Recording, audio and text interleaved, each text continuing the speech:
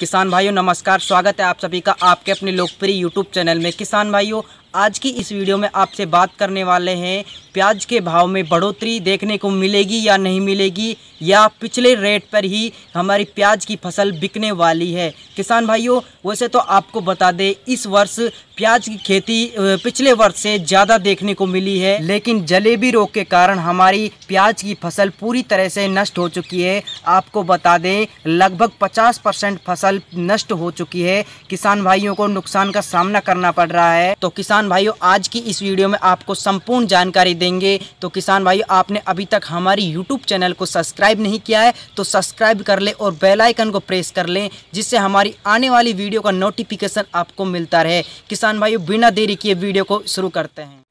पिछले वर्ष से अब की बार प्याज की खेती सबसे ज़्यादा देखने को मिलती है, लेकिन प्याज की खेती में जलेबी रोग पूरी तरह से लग चुका है और हमारे किसान भाइयों की प्याज पूरी तरह से खराब हो चुकी है। आपको बता दें कि लगभग 50 परसेंट प्याज खत्म हो चुकी है। प्याज खराब होने की वजह से लगभग प्याज का भाव 50 से 60 रुपए प्रति किलो का रहेगा, क्योंकि आपको बता दें कि हमारी प्याज की सप्लाई विदेशों में होती है और विदेशों में प्याज की मांग सबसे ज़्यादा रहती है, इसलिए प्याज के भाव में उछाल देखने को मिल रहा है। किसान भाइयों, आपकी जितनी भी खेती बची हुई है, उसकी देखभाल अच्छी तरह से करें और उसमें स्प्रे वगैरह खाद बीज डालते रहें, जिससे आपकी फ़सल अच्छी से अच्छी हो और आपको उत्पादन ज़्यादा से ज़्यादा मिले और आपको अच्छा सा अच्छा भाव मिल सके। किसान भाइयों, वीडियो अच्छी लगी तो वीडियो को लाइक और शेयर ज़्यादा से ज़्यादा करें। मिलते हैं अगली वीडियो के साथ। तब तक के लिए जय जवान, जय किसान।